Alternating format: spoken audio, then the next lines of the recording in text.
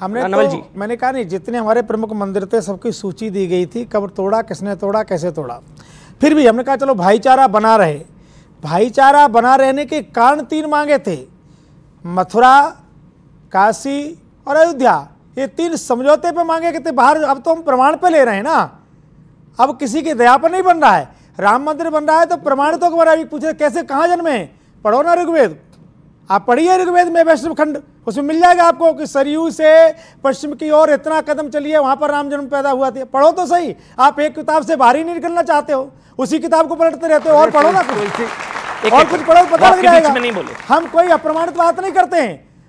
Court ने केवल आँखें बंद करके निर्णय नहीं दे दिया। प्रमाण के साथ में बन रहा है काशी का उद्घाटन होगा वो भी प्रमाण पर होगा। हाँ यदि आप मान लेते भाईचारे के सार पे मान लेते कि तीन हम आपको दे रहे हैं तो हो सकता है हम तीन हज़ार और तीस हज़ार की बात नहीं करते। अब बात प्रमाण पर है। नहीं हो सकता है अब उन तीन मंदिरों की जगह नवल भाई सुनिए सुनिए हो सकता है मैं एक सुझाव हो सकता है उन तीन मंदिरों की जगह तीस हज़ार मस्जिदें शायद हिंदू भाई बनवाते। उन तीन की जगह तीस हज़ार मस्जिदें शायद हिंदू भाई बनवाते। भाईचारा निभाया नहीं गया। एक तो बनवाई अभी एक भी मिनट, लोग एक धमकी दे रहे हैं। एक तो एक बनवाई मिनट। नहीं, अभी धमकी दे अभी लोग धमकी देते हैं। बना लो बाद में हम तोड़ देंगे। हम क्या ऐसे हाथ बंद पीछे खड़े रहेंगे तुम तोड़ दोगे? क्या है तमाशा?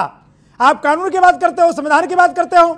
सीएसए पर संविधान नहीं मानेंगे, तीन तलाक पे नहीं मानेंगे, हलाला पे नहीं मानेंगे, जनसंख्या पे नहीं मानेंगे। मंदिर की बात आएगी तो संविधान मानेंगे साहब। हम तो पक्के नागरिक हैं, कानून को मानते हैं। तो फिर कानून को मानते हो तो साक्षी पर चलने दो फिर क्या है? हमने भाईचारे पर तीन मांगे थे नहीं मिले। तो अमन जी तीन हज़ार नहीं, तीन लाख पर भी बिल्डोर चलाना पड़ेगा तो चलेगा। साक्ष्य के आधार पर चलेगा। क्योंकि लड़ाई कानून की है। एक जो- तो जहाँ जहाँ मंदिर के साक्ष्य मिलेंगे जो होगा होगा। एक जो तर्क बाद में दिया जाता है कि भाई मस्जिद शिफ्ट नहीं हो सकती। ठीक? अब चूँकि वहाँ पर आस्था रशीदी जी की हाजिर भाई की मुस्लिम पक्ष की वो ज्ञानवापी मस्जिद है वो मथुरा में शाही ईदगाह मस्जिद है आपकी नज़र में जो नंदी हैं वो मस्जिद मुखी कैसे हैं? वहीं पर फिर महादेव है शिवलिंग है। उसी तरह शाही ईदगाह में श्री कृष्ण जन्म स्थान है ये दावा है।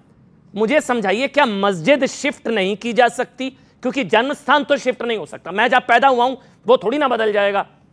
क्या मस्जिद शिफ्ट नहीं की जा सकती? सवाल का परिप्रेक्ष्य है 1994 Ismail Faruqui Yes, case yes. जिसमें माननीय सुप्रीम कोर्ट ने कहा था 1994 में एक मस्जिद इस्लाम धर्म के अभ्यास का अनिवार्य हिस्सा नहीं है एग्जैक्टली exactly. क्या मैं गलत हूँ बिल्कुल सही कहा आपने और ये बात सुप्रीम कोर्ट में राम मंदिर के केस में रेज हुई थी Yes. और राजीव धवन साहब ने इसमें आठ महीने तक बहस की थी और कहा था इसको लार्जर बेंच को भेजा जाए सुप्रीम कोर्ट ने लार्जर बेंच को भेजने से रिजेक्ट कर दी इस मांग को और कहा यह जो फाइंडिंग है एब्सोल्युटली करेक्ट क्या finding क्या थी? समझाइए फाइंडिंग यही है कि मस्जिद जो है वो इस्लाम में एसेंशियल रिलीजियस